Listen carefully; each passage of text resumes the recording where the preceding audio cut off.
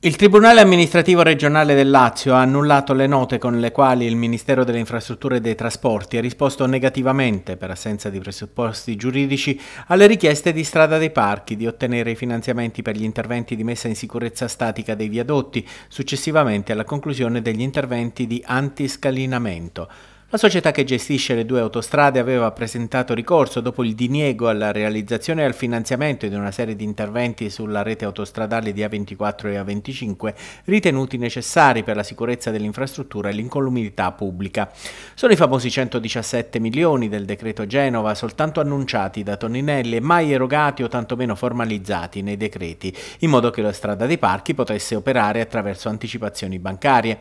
Il TAR, dopo aver osservato che le norme di riferimento sono di difficile lettura interpretativa, ha ritenuto che anche dalla lettura della relazione governativa sul tema si evince la volontà del legislatore di finanziare tutte le cosiddette misure di sicurezza urgenti che non si esauriscono nella realizzazione degli interventi di antiscalinamento, ma che comprendono ulteriori interventi, quali quelli di messa in sicurezza sismica dei viadotti, per i quali la concessionaria ha presentato la richiesta di finanziamento.